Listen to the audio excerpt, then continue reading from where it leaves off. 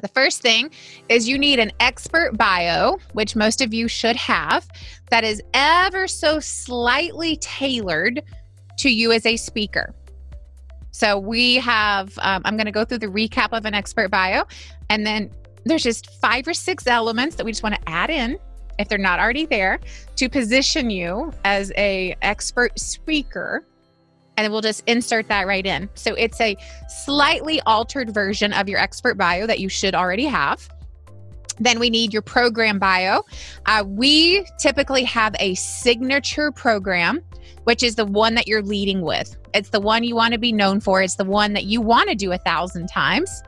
And then we have two to three to maybe four other ancillary programs that we can also do. Still to this day, the leading keynote that we promote Rory with is Take the Stairs. Um, you want some professional headshots. Um, we are going to talk about all the different types of pictures that you need. Um, these include pictures of you on stage. Don't think you have to wait until you have a presentation to get pictures on stage. Not that I would uh, encourage anyone to break any laws um, or anything such as that, but many times you may fa- find that ballrooms are sometimes open. We all live in cities where there's hotels, um, and just you know, find one that's open, hop up there.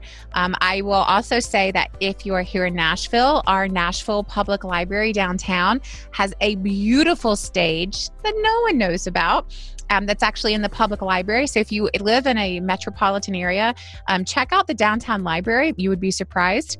Um, maybe you have a friend who has access to a stage or whatever.